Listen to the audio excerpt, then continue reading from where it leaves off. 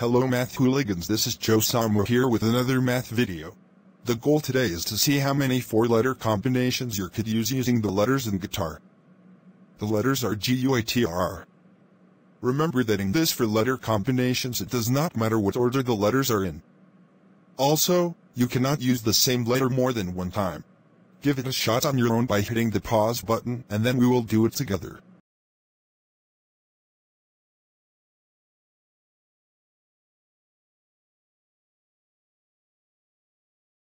I hope you tried it on your own. Now we're gonna do it together. The first thing you need to do is figure out how many permutations are possible with the four letters. Since there are six different letters, then there are six possibilities that can go in the first space. Once you use one of the letters, then it's time to go to the second letter. Since there were six possibilities for the first letter and you used one of them, then there are five possibilities for the second letter.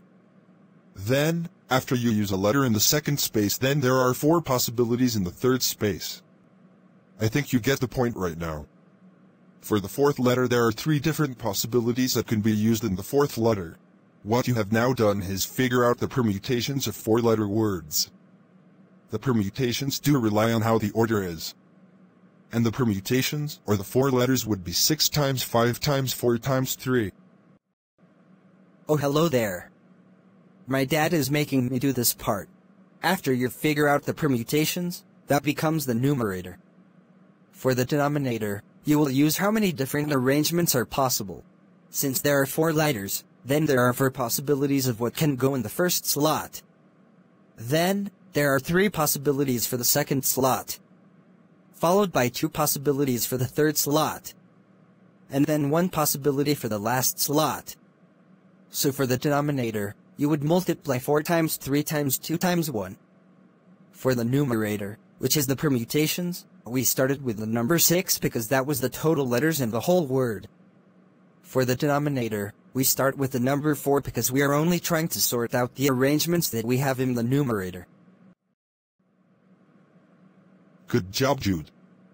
We now have 6 times 5 times 4 times 3 in the numerator, and 4 times 3 times 2 times 1 in the denominator.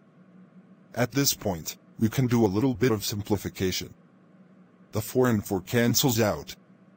The 3 and 3 cancels out.